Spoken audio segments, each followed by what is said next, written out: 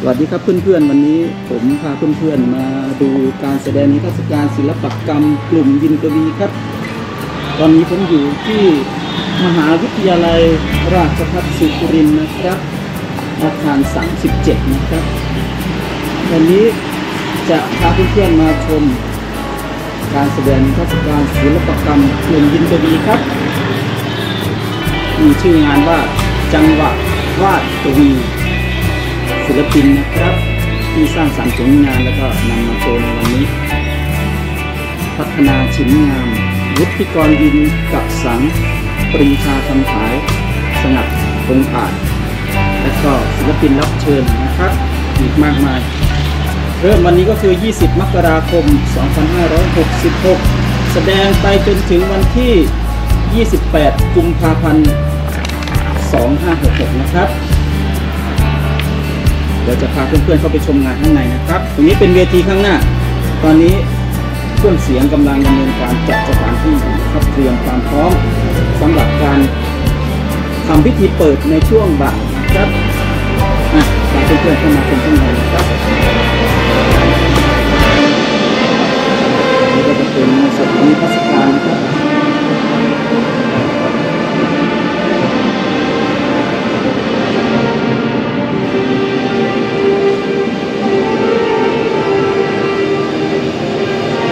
นี่คือภาพวาดสีอะคริลิกที่มีชื่อว่าปราสาทพนมรุ้งนะครับศิลปินผู้สร้างก็คือปรีชาคำผายครับปรีชาคำผายคือใคร ก็คือคนที่กำลังถ่ายวิดีโออยู่ตอนนี้นั่นเองนะครับ เจ้าของช่องสเลเตอาร์ตแกลเลอรี่นี่แหละครับเพื่อนๆ นี่คือบรรยากาศโดยรวมนะครับ เรื่องของเรื่องก็คือผมกับพี่น้องของเพื่อนได้รวมกลุ่มกันโดยใช้กลุ่ม ชื่อว่ายินกวีนะครับ มาจัดแสดงนิทรรศการศิลปกรรมนะครับครั้งนี้เป็นครั้งแรกนะครับของกลุ่มนี่คือภาพที่ผมนำมาแสดงก็ร่วมกับเพื่อนๆในส่วนที่เป็นภาพของผมก็คือ 10 ภาพนะครับ เมื่อกี้ภาพแรกที่เข้ามาดูนะครับก็คือปราสาทพนมรุ้งนะครับ ผมไปวาดที่ ปราสาทพนมรุ้งจังหวัดบุรีรัมย์นะครับ สีอะคริลิกครับผม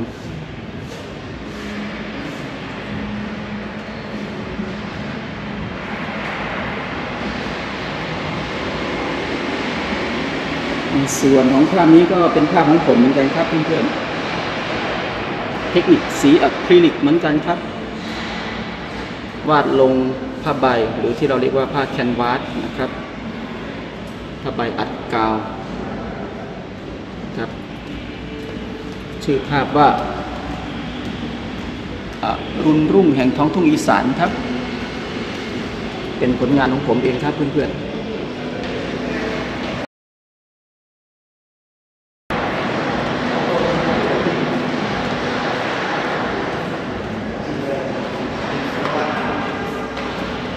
เป็นเรื่องราวของ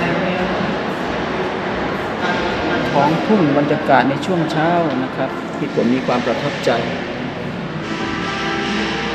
บอกเล่าเรื่องราวผ่านการเวลา โดยมีทิวทัศน์หรือว่าแลนสเคปนะครับเป็นตัวชี้นำในการสร้างสรรค์ผลงานของทุ่งนาอีสานบ้านเรานะครับ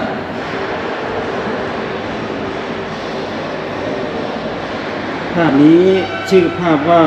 ไปส่องกบกับพ่อครับเพื่อนๆ นี่ก็เทคนิคสีอะคริลิกเหมือนกันครับ นี่คือความประทับใจของผมในวัยเด็ก ที่ได้ไปจับกบกับพ่อ ผมก็ได้ถ่ายทอดเรื่องราวความประทับใจในช่วงวัยเด็กครับ อันนี้คือพ่อผมแล้วก็นี่คือผมไงครับเพื่อนๆ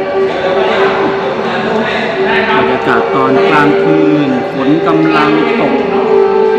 เสียงฟ้าร้อง ฟ้าร้องฟ้าผ่าเห็นไหมครับ เรามาดูภาพต่อไปครับตัวนี้ก็เป็นภาพของผมอีกเช่นเดิมครับเพื่อนๆเอาเป็นว่าจะพามาดูภาพของผมก่อนสิบภาพนี้นะครับอันนี้นี้ผมให้ชื่อภาพว่าความทรงจำบนลานข้าวครับเพื่อนๆ สียงที่เพื่อนๆได้ยินตอนนี้ก็คือ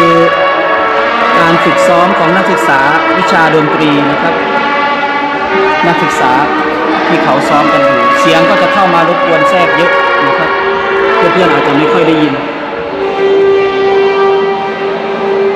ความทรงจำโบราณข้าวครับ สีเอกคริลิกเหมือนเดิมครับผมอ่ามาดูภาพต่อไปเลยครับ นี่คือภาพที่ชิ้นใหญ่ที่สุดที่ผมนำมาแสดงร่วมกับเพื่อนๆนะครับชื่อภาพว่า วิถีชีวิตและการเวลาครับ ภาพนี้เป็นภาพที่ใหญ่ที่สุดที่ผมวาดนะครับขนมาจากบ้านโดยการขนใส่รถหกล้อมาเลย เทคนิคเสีอะคริลิกเหมือนเดิมครับวาดลงไปในผ้า แคนวาสนะครับผ้าแคนวาสเป็นยังไงมาดูกันเลยครับ นี่คือลักษณะของผ้าแคนวาสนะครับ มีขายในร้านวัสดุการศึกษา หรือว่าร้านที่เขาขายเกี่ยวกับอุปกรณ์ศิลปะนะครับ ด้านหลังนะครับ ทีนี้ก็คือถ่ายทอดเรื่องราวประสบการณ์ชีวิตของผม แล้วก็ความประทับใจในชีวิตวิถีแห่งอีสานใต้ครับเพื่อนๆ ชีวิตที่อยู่บนท้องทุ่งนานะครับ ความประทับใจในวิถีชีวิต การทำนาปลูกข้าวบรรยากาศถ่ายทอดในช่วงฤดูเก็บเกี่ยวครับเพื่อนๆรวงข้าวที่สุดเหลืองอาราม ทั่วท้องทุ่งนาอีสานครับ ก็จะมีฝูงควายที่กำลังยืนล้อมรอบกองฟางในอิริยาบถของการพักผ่อนนะครับหลังจากที่เขาได้ตรัสตรำช่วยมนุษย์ปลูกข้าวทำนาโดยการเป็นแรงงานให้มนุษย์ได้ใช้ในการไถนา ก่อนไม่มีรถไถนาเดินตามต้องใช้ควายนะครับฉะนั้นควายจึงมี ความผูกพันอยู่กับวิถีชีวิตของชาวนานะครับเรียกได้ว่าเป็นผู้ที่มีพระคุณต่อชาวนาอย่างแท้จริงนะครับ ช่วยในการไถบรรยากาศผมก็จะถ่ายทอดออกมาในลักษณะ ความรักความผูกพันความอบอุ่น ความอุดมสมบูรณ์ และก็เชื่อมโยงกับวิถีชีวิตตามท้องไร่ท้องนานะครับหรือแม้แต่กระทั่งตามป่าในชุมชนนะครับ การทำมาหากินนะครับ การจับแมงจีนูนครับตอนกลางคืนเห็นไหมครับส่องแบตจับแมงจีนูนครับ เป็นเรื่องราวที่เกิดขึ้นจริงในชีวิตของผม ผมกับพ่อเหมือนเดิมครับเพื่อนๆไปจับปลาอยู่ในนาข้าวครับ นี่คือบรรยากาศของท้องทุ่งครับก็จะมีต้นตาล ในต้นตาลนั้นก็จะมีค้างคาวอาศัยอยู่ครับ ผมก็จะถ่ายทอดค้างคาวกำลังบินออกจากต้นตาลค้างคาวเขาอยู่ตรงไหน อยู่ตรงนี้แหละครับ ใต้ใบตาลที่แห้งอยู่ด้านล่างเขาก็จะบินออกมาเป็นฝูง นี่คือภาพความทรงจำของผมในสมัยเด็กนะครับที่ได้อยู่กับท้องไร่ท้องนา ทุกวันนี้ก็อยู่กับท้องไร่ท้องนาเหมือนเดิมนะครับเพื่อนๆเพียงแต่ว่าบทบาทหน้าที่ก็ไม่ค่อยได้ไปอยู่ในท้องไร่ท้องนาเหมือนเดิมเท่าไหร่โดยหน้าที่การงานครับ บรรยากาศเรื่องราวที่สอดคล้องกับ ความเชื่อทางศาสนานะครับอารยธรรมประเพณีความเชื่อของศาสนาพราหมณ์แสดงออกโดยงานสถาปัตยกรรม หรือที่เราเรียกว่าปราสาทหินปราสาทขอมครับอีสานใต้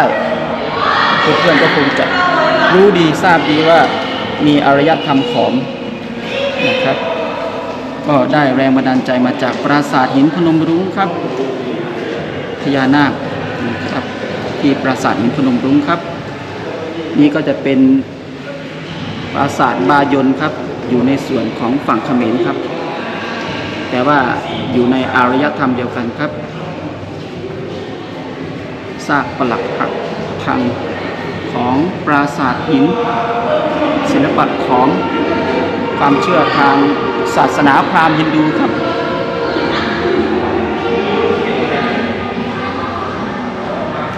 ครับ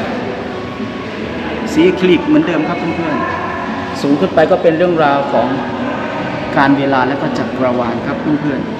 ๆ ชีวิตกำเนิดขึ้น ไม่ว่าจะเป็นคนสัตว์สิ่งของระเบิดออกมาจากจุดเดียวกันครับก็คือหลุมดำหวยพุ่งออกมาเป็นวัฏฏะสงสารเวียนว่ายตายเกิด ครับ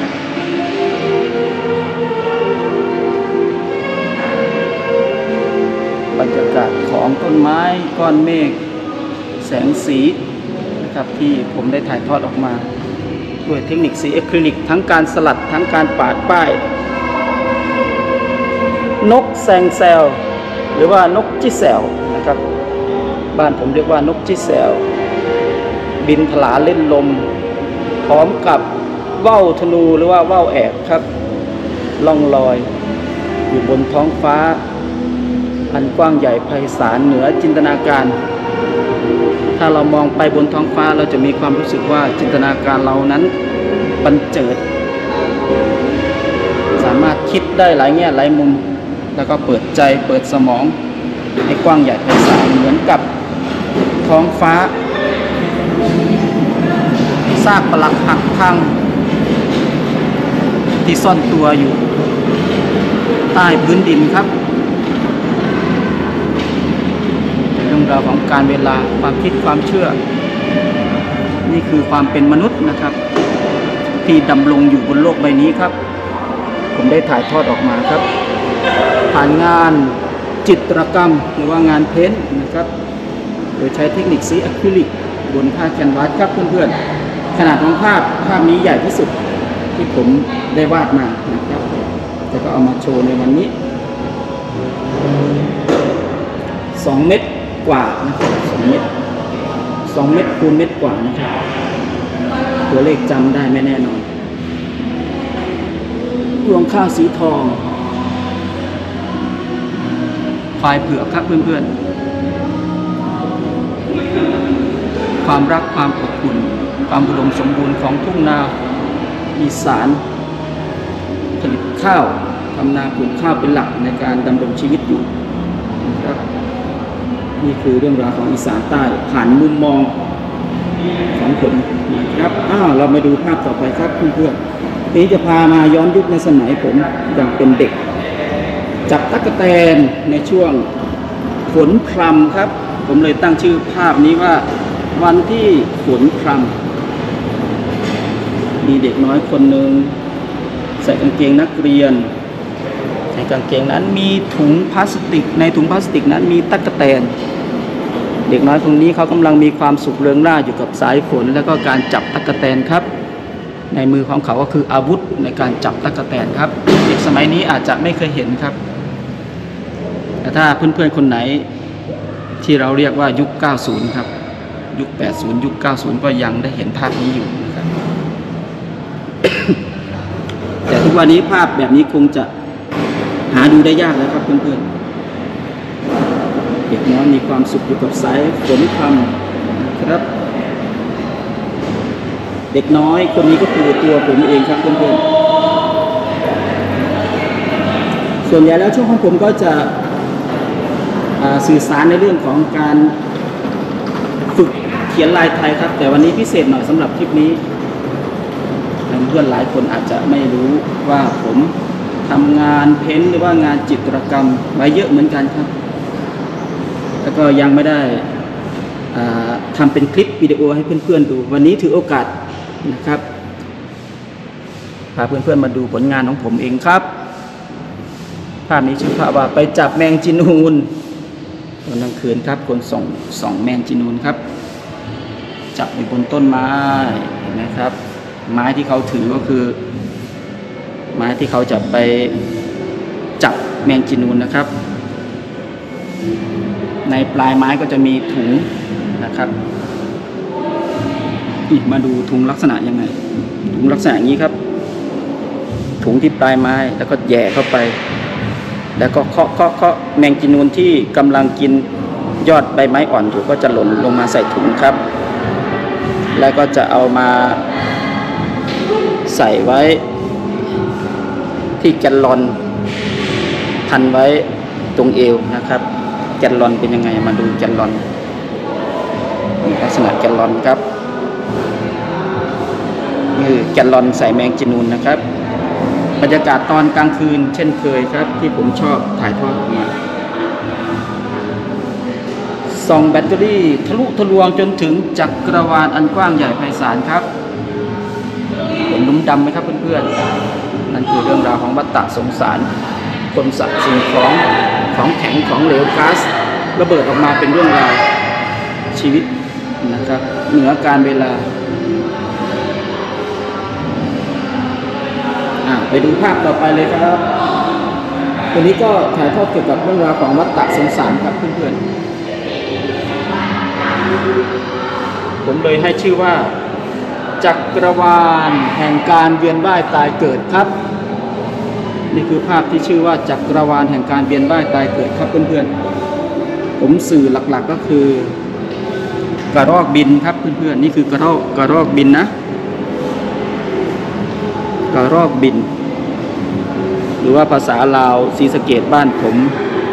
เรียกว่าบาง หรือว่ากระรอกบินนะครับภาษากลาง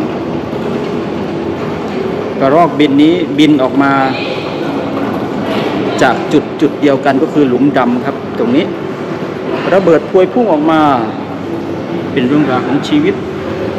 เกิดแก่เจ็บตายเวียนว่าอยู่ในวัฏสงสาร ในจักรวาลอันกว้างใหญ่ไพศาลเกิดตายเกิดตายไม่รู้กี่ภพกี่ชาติครับ แต่ก็ยังไม่เข็ดหลาบนะ รู้ว่าเป็นของร้อนชีวิตกำเนิดขึ้นมา จากความไม่รู้หรือว่าอาวิชชานั่นเองครับ เปรียบเสมือนกับอะไร เปรียบเสมือนกับหอยไง หอยที่เกาะ อยู่ตามกิ่งไม้ที่จมอยู่ในน้ำครับ ผมมีความประทับใจเวลาสูบสระหรือว่าวิทน้ำออกจากสระจากบ่อ ก็จะมีหอยจุ๊บที่เกาะอยู่ตามกิ่งไม้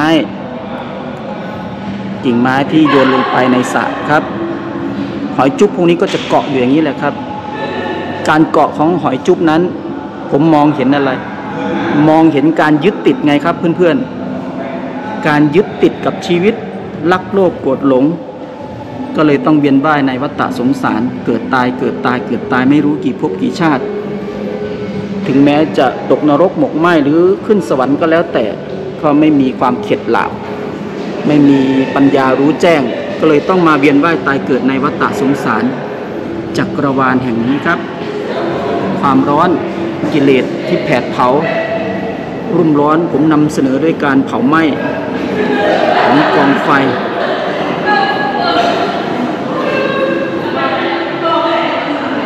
นี่คือเห็ดที่ปล่อยสปอร์ออกมาครับ สปอร์ก็คือการ ตายแล้วก็การเกิดใหม่ เห็ดก่อนที่จะปล่อยสปอร์สปอร์ออกมาเขาก็ถึงเวลาเจริญพันธุ์แล้วเขาก็ปล่อยสปอร์ออกมา สปอร์นั้นก็เกิดเป็นเห็ดดอกใหม่ เห็ดดอกนี้ก็จะร่วงโรยไปนั่นคือการสื่อความหมายของผมครับเพื่อนๆจักรวาลแห่งการเวียนว่ายครับเพื่อนๆสีอะคริลิกเหมือนเดิมครับอ่าไปดูภาพต่อไปเลยครับ ให้ดูภาพนี้เป็นภาพสุดท้ายและการสำหรับผลงานของผมนะครับ สื่อความหมายก็ออกไปในแนวแนวลักษณะเดิมอีกแล้วครับเพื่อนๆ ก็คือกับดักแห่งวัฏฏะสงสารครับทำไมถึงตั้งชื่อว่ากับดักแห่งวัฏฏะสงสารไซหรือว่าเครื่องจับปลาชนิดหนึ่งนะครับ ที่วางไว้ตรงเส้นทาง ของการไหลของน้ำนะครับ นี่คือเครื่องจับปลาชนิดหนึ่งเครื่องจักสารนะครับ เราเรียกว่ารอบว่าใสนะครับ ไปวางไว้ตรงช่องทางน้ำไหลนะครับล่อปลาพวกนี้ เข้าไปในไซครับ พอเข้าไปในไซแล้วไม่สามารถออกมาได้ ก็จะกลายเป็นอาหารของมนุษย์ เปรียบเสมือนกับ ชีวิตของเราที่อยู่ในอวิชชาก็คือความไม่รู้ ความไม่รู้แจ้ง ความไม่เข้าใจ หรือว่าการไม่มีปัญญา ติดอยู่กับรักโลภโกรธหลงวัฏฏะสงสาร ผู้หญิงคนนี้คือใคร ผู้หญิงคนนี้ก็คือกิเลสกามของพวกเราไงครับเพื่อนๆหลงในรูป ติดในกาม กามมาคุณ โดยสื่อความหมายของความงามของผู้หญิงครับ ผู้หญิงหลอกล่อ ให้เพศผู้เข้าไปสมสู่ครับเพื่อนๆ เพศผู้ที่จะเข้าไปสมสู่ สมสู่แล้วก็เกิด เกิดแล้วก็ตาย ตายแล้วก็เกิด เพราะความไม่รู้ เกิดแล้วตายตายแล้วเกิดเกิดแล้วตายตายแล้วเกิดเวียนว่ายหลงเข้าไปในกับดัก ผมเลยตั้งชื่อภาพว่ากับดักวัฏฏะสุสานครับเพื่อนๆบรรยากาศก็เป็นเรื่องราว ฉากหลังก็คือท้องทุ่งนานะครับ ความชอบความผูกพันที่อยู่กับท้องทุ่งนาครับ เพื่อนๆสังเกตเห็นอะไรครับตรงนี้ ตรงนี้ก็คือว่าวที่หลุดลอยแล้วก็ติดอยู่กับกิ่งไม้นะครับ เปรียบเสมือนความเสื่อมของสังขาร ความเสื่อมของชีวิต ความร่วงโรยในกามคุณ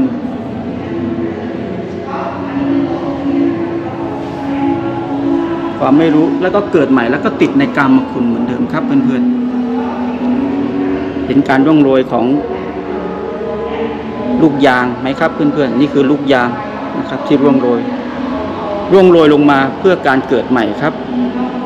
ร่วงโรยลงมาเพื่อการเกิดใหม่ สุดท้ายก็ติดกับดักในวัฏฏะสงสารครับเพื่อนๆ เหมือนผมเหมือนเพื่อนตอนนี้ที่ยังเวียนว่ายตายเกิดกันอยู่ครับ เทคนิคสีอะคริลิกเหมือนเดิมครับนี่คือภาพรวมผลงานของผมที่นำมาแสดงนะครับ สิบภาพนะครับ เดี๋ยวจะย้อนกลับมาดูอีกภาพหนึ่งนะครับ ผมลืมให้เพื่อนๆดูภาพนี้ ก็คือภาพที่ผมไปวาดรูปในสถานที่จริงก็คือปราสาทตาควายครับ เดี๋ยวจะพาเพื่อนๆมาดูปราสาทตาควายไปตรงไหนแล้ว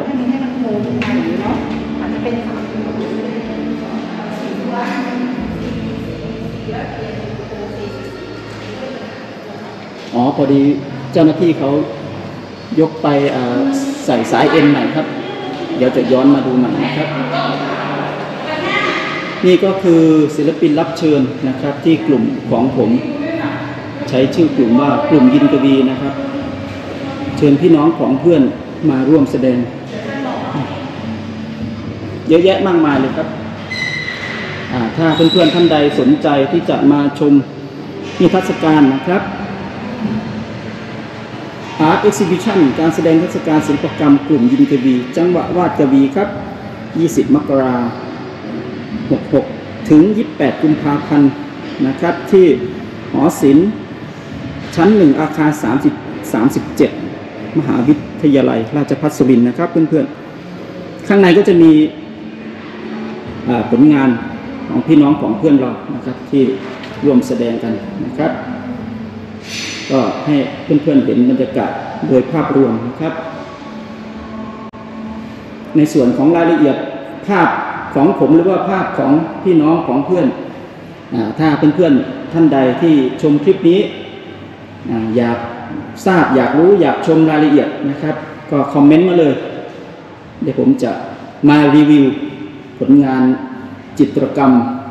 ต่างๆ ที่เพื่อนๆเห็นตอนนี้นะครับ เยอะแยะมากมายนะครับ สไตล์รูปแบบเทคนิควิธีการก็จะแตกต่างกันไปครับ ขึ้นอยู่กับ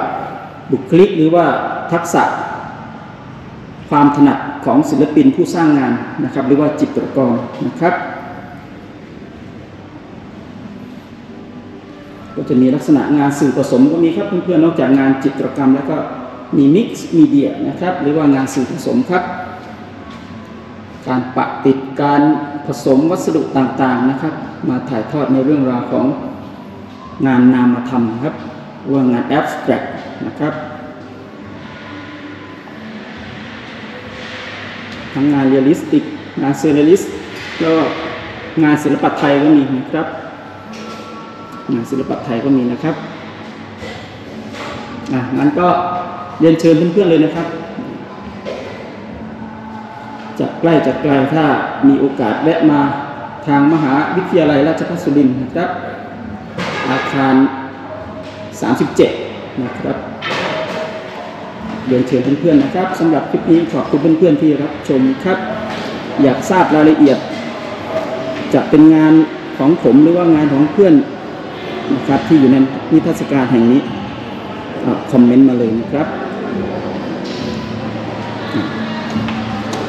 จบที่งานนี้